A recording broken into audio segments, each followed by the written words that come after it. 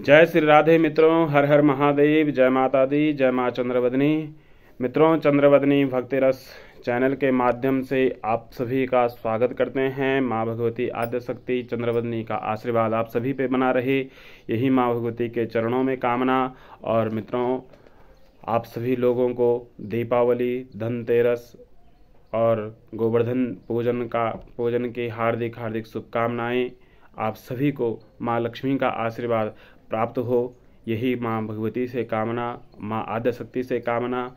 और मित्रों, आज का जो हमारा वीडियो है, यह वीडियो हम धनतेरस जो है, धनतेरस के बारे में आपको बता रहे हैं। तो धनतेरस जो है, इस बार जो है, धनतेरस पड़ रहा है शनिवार को।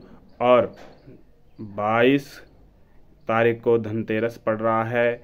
22 अक्टूबर को, शनिवार को जो है धनतेरस पड़ रहा है तो धनतेरस की आप सभी को हार्दिक हार्दिक शुभकामनाएँ। भगवान कुबेर का आशीर्वाद आप सभी के ऊपर प्राप्त हो। कुबेर महाराज का आशीर्वाद आप सभी के ऊपर बना रहे, यही कामना। और मित्रों, जो भी हमारे इस चैनल में चंद्रबन्नी भक्तिरस चैनल में नए आए हैं, वह हमारे चैनल को सब्सक्राइब ज़रूर करें, बेल आइकन का बटन जब, ज़रूर दबाएँ, और वीडियो को अधिक से अधिक शेयर आप करें। तो धनतेरस के बारे में आपको कुछ सूक्ष्म जानकारियाँ देते हैं। धनतेरस का पर्व क्यों मनाया जाता है और धनतेरस के दिन हमें क्या क्या वस्तुओं को खरीदना चाहिए, यह सब आप सभी से, आप सभी के समक्ष आपको बताएँगे। तो आप लोग वीडियो को अधिक से अधिक शेयर करें। तो धनतेरस जो है बारह, बाईस अक्टूबर को 22 अक्टूबर 2022 शनिवार के दिन पड़ रहा है। और धनतेरस जो है, कार्तिक माह की कृष्ण पक्ष की त्रयोदशी तिथि को धनतेरस कहा जाता है। अब इस पर्व धनतेरस जो है, यह क्यों मनाया जाता है? तो कहते हैं कि समुद्र मंथन के समय जब समुद्र मंथन जब हुआ था तो समुद्र मंथन के समय भगवान जो हैं, धनवंतरी अमृत कलश लेकर प्रकट हुए थे इस दिन, धनतेरस के दिन। इसलिए इस तिथि को धनतेरस या धन त्रयोदशी के नाम से भी जाना जाता है। तो इसलिए इस दिन को धन त्रयोदश या धन त्रयोदशी के नाम से इस तिथि को जाना जाता है। तो समुद्र मंथन से भगवान धनवंतरी जी का आगमन हुआ था। धनवंतरी जी जो है अमृत कलश को लेकर के आए थे तो इसलिए इस पर्व को मनाया जाता है, धनतेरस को मनाया जाता है। अब धनतेरस के दिन क्या करें और क्या ना करें? तो धनतेरस के दिन भगवान धनवंतरी और माँ लक्ष्मी व कुबेर देव का पूजन करना चाहिए। कई लोग इस दिन क्या करते हैं? नए बर्तन खरीदते हैं, सोना, चांदी खरीदते हैं। तो कहा जाता है कि धनतेरस के दिन कुछ ना कुछ खरीदना ही चाहिए। ऐसा करना शुभ माना जाता है। तो धनतेरस के दिन कुछ ना कुछ ज़रूर खरीदें। अब जैसे जैसे समय आगे बढ़ता गया। पहले प्राचीन समय में लोग धनतेरस के दिन क्या है? सोना, चांदी, आभूषण और बर्तन इत्यादि खरीदते थे। और धनतेरस के दिन जो है, झाड़ू खरीदना भी शुभ माना जाता है। झाड़ू भी खरीदा जाता है धनतेरस के दिन। तो प्राचीन समय में लोग यह सब खरीदते थे, परंतु अब वर्तमान समय में जो है धीरे धीरे समय के साथ बदलाव हुआ और धनतेरस के दिन अब लोग जो हैं, जैसे इलेक्ट्रॉनिक सामान, टीवी, फ्रिज या आपकी गाड़ियाँ हो गई तो अब धीरे धीरे लोग इन्हें भी इसमें शामिल करने लग गए हैं। धनतेरस के दिन लोग यह सामान खरीदने लग गए हैं। अब धनतेरस के दिन क्या खरीदना शुभ होता है? क्या क्या खरीदना चाहिए? तो धनतेरस के दिन जो है, बर्तन इत्यादि तो आप खरीद ही सकते हैं, या अन्य जो भी आप लोग खरीद सकते हैं, वह खरीदना चाहते हैं, सोना, चांदी तो वह खरीद सकते हैं। परंतु विशेषकर धनतेरस के दिन जो हैं, पीतल के बर्तन खरीदने चाहिए और इसके अलावा सोना, चांदी, तांबे आदि का सामान खरीदना चाहिए। या धनतेरस के दिन खरीदने जा, खरीदना, इन वस्तुओं को खरीदना शुभ माना जाता है। मान्यता है कि धनतेरस के दिन ये चीज़ें घर में आने से माँ लक्ष्मी और धनवंतरी भगवान की कृपा से उस घर में आरोग्यता और समृद्धि आती है। इसके अलावा इस दिन जो है धनतेरस के दिन विशेषकर प्राचीन समय में विशेषकर झाड़ू खरीदने की प्रथा प्रथा मानी जाती थी। झाड़ू खरीदना जो है, वह शुभ माना जाता था। तो धनतेरस के दिन इन वस्तुओं को ज़रूर आप लोग खरीदें, जिससे आपके घर में शुभ और मंगल हो। अब धनतेरस के दिन क्या नहीं खरीदना चाहिए? इसके बारे में भी आपको बताते हैं।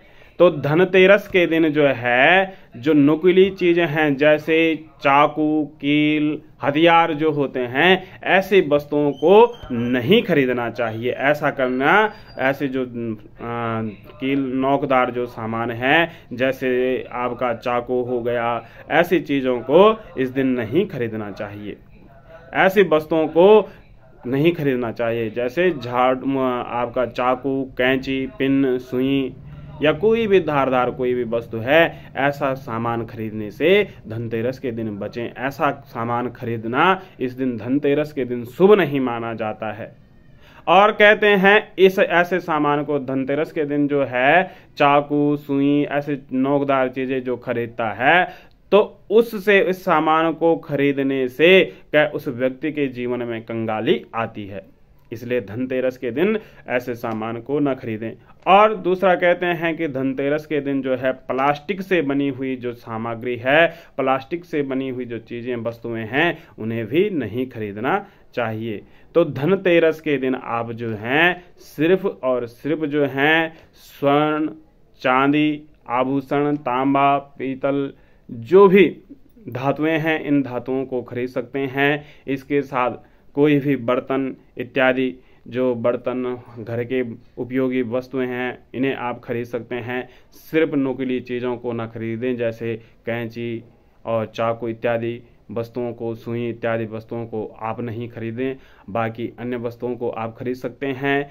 तो 22 जो अक्टूबर को धनतेरस का जो शुभ पर्व है, वह आ रहा है। तो धनतेरस की आप सभी को हार्दिक शुभकामनाएँ और आगे अब हम दूसरे वीडियो में आपको दीपावली के बारे में जानकारी देंगे। दीपावली का जो शुभ मुहूर्त है पूजन का, वह कब किया जाएगा, उसके बारे में भी आपको अवगत कराएँगे। और धनतेरस के दिन आप सभी लोग गणेश जी का और लक्ष्मी जी का पूजन ज़रूर करें। और धनतेरस के दिन जो हैं, आप अपने मुख्य द्वार पे अपना जो घर का मुख्य द्वार है, उस मुख्य द्वार पे चौमुखी दीपक ज़रूर प्रज्वलित करें, चौमुखी दीप चिराग ज़रूर जलाएँ, जिससे आपके घर के जितने भी अशुभ हैं, अकल्याण हैं, सारे दूर होंगे और आपके घर में शुभता होगी, लक्ष्मी का वास होगा, माँ भगवती का आशीर्वाद, का, धनवंतरी भगवान का आशीर्वाद प्राप्त होगा और कुबेर महाराज का आशीर्वाद आपको प्राप्त होगा।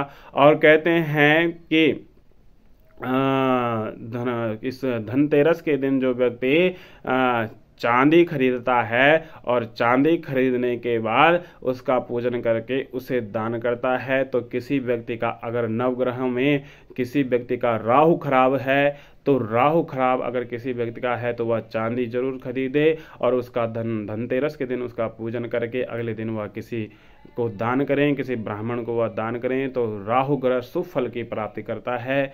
तो आपको आज का हमारा यह वीडियो जो है यह कैसा लगा आप ज़रूर बताएँ कमेंट के माध्यम से ज़रूर बताएँ और अन्य आगे सभी को आप यह वीडियो शेयर करें। जय माता दी जय माँ चंद्रपदनी जय माँ भगवती हर हर महादेव शंभु।